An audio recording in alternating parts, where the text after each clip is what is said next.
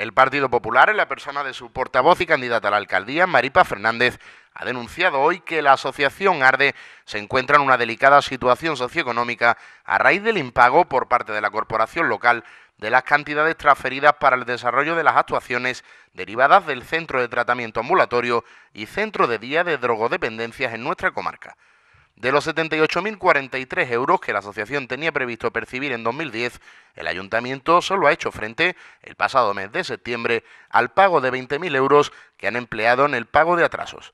La directiva de la asociación se ha puesto en contacto incluso con el defensor del pueblo andaluz, José Chamizo, ya que según han declarado, han agotado las posibilidades y alternativas de solución con el ayuntamiento de Ronda.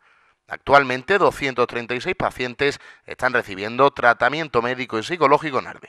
Hoy vuelvo a traer una denuncia, en este caso de una asociación sin ánimo de lucro, que saben ustedes que mm, desde el Partido Popular ya denunciamos hace algún tiempo que no se les había pagado la subvención del 2009, se les pagó la mitad de esta subvención, ahora están a la espera de la otra mitad de la subvención del año 2009 pero mm, en este caso estamos hablando de un convenio que se firma entre el Ayuntamiento, que se firma el 26 de mayo de 2008, con la colaboración de la Consejería para la Igualdad y Bienestar Social de la Junta de Andalucía para el mantenimiento de un centro de tratamiento ambulatorio y un centro de día para drogodependientes por el periodo 2008-2011.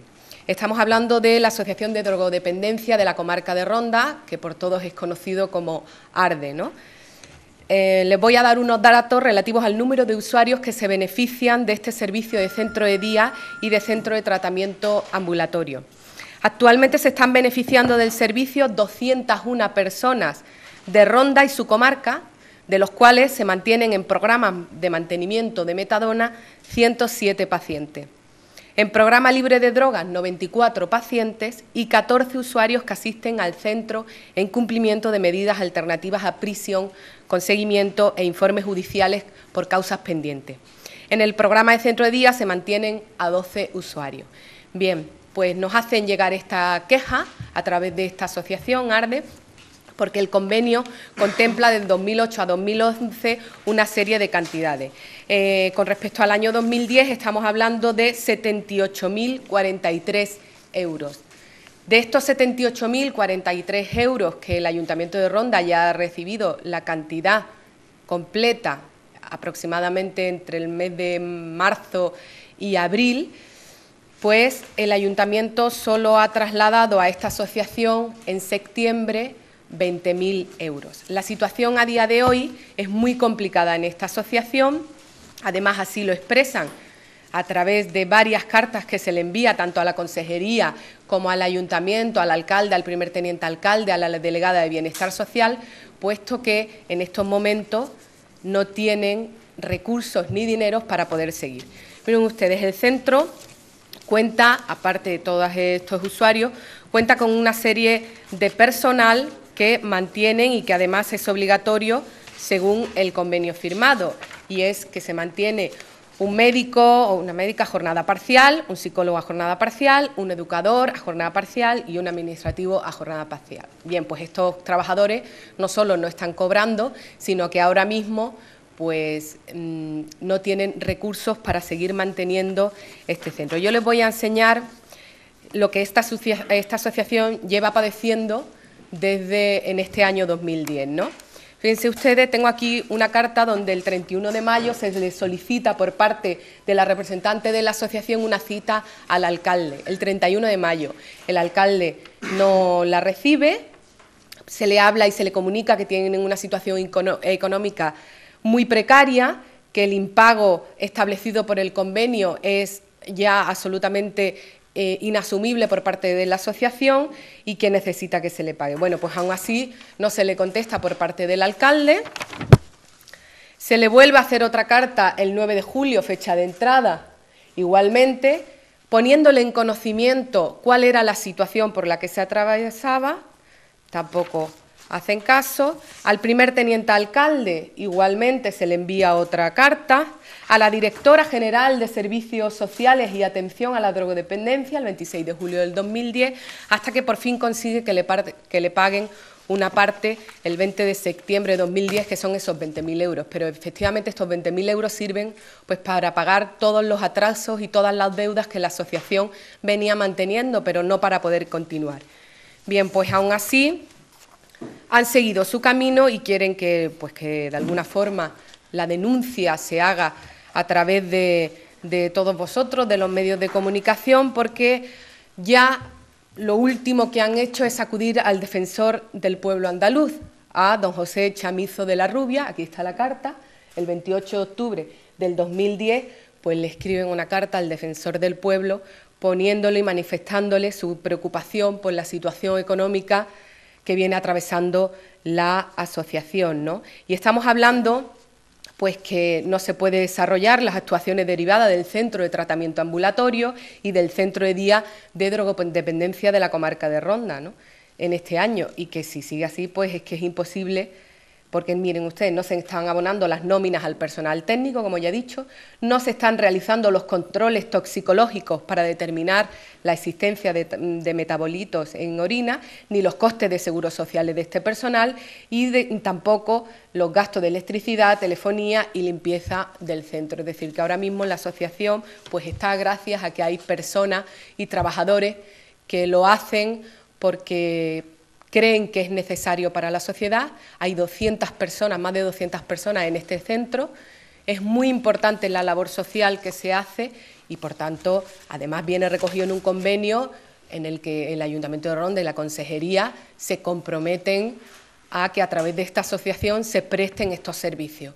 Pues yo desde aquí lo que quiero decir es que, por favor, a esta asociación y a todas las asociaciones se les paguen porque necesitan seguir con estos tratamientos y necesitan seguir con su actividad, porque es una actividad necesaria para el funcionamiento de nuestra sociedad y no solo de Ronda, sino de la que dependen también toda la comarca.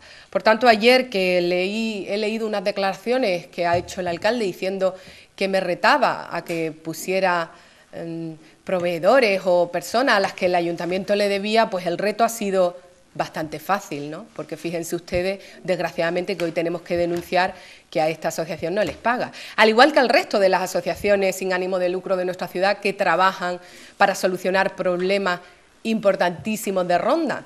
Bueno, que se le ha pagado la mitad y veremos a ver cuándo se le paga la mitad. Y al igual que muchísimos proveedores que vienen aquí y que no quieren enfrentarse con el alcalde, a los que llevan años sin pagarle más de un año sin pagarle. Pero fíjense, si la semana pasada traje aquí precisamente los decretos del último mes donde hay cinco reparos de la intervención de la tesorería, porque el alcalde paga a quien quiere.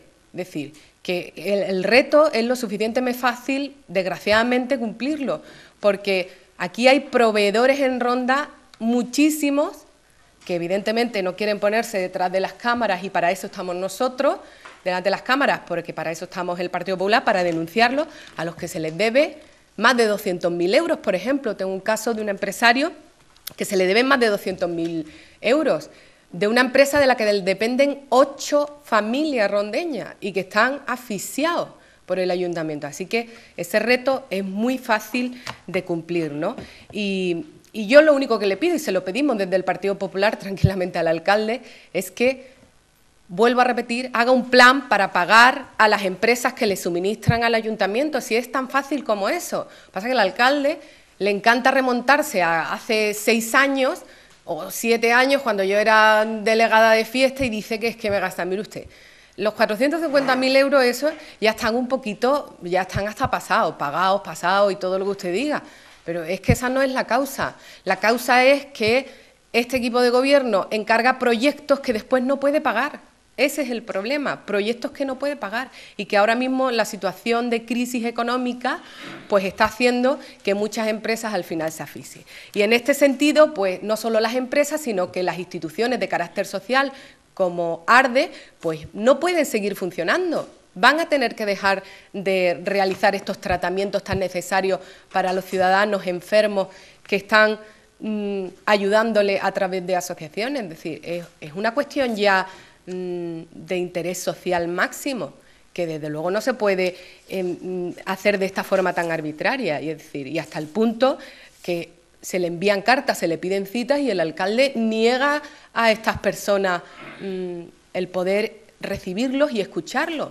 Pues no sabemos por qué, no, no sabemos exactamente por qué se le niega a una asociación el poder ir a visitar al alcalde y comentarle estos problemas. Este es el interés el interés en las políticas sociales del Partido Socialista. Esto que dicen tanto de las políticas sociales son los primeros. Ya lo ven ustedes, si son los primeros. Ni siquiera reciben a la asociación, ni siquiera la reciben. Por lo tanto, su interés queda justificado como el peor interés que se puede tener en la política social de nuestra ciudad. Yo solo les pido desde aquí y se los pido ya de corazón para que se les pague a estas asociaciones con esa labor tan importante en Ronda y en la comarca, porque si no, muchas de ellas, desgraciadamente, tendrán que cerrar sus puertas.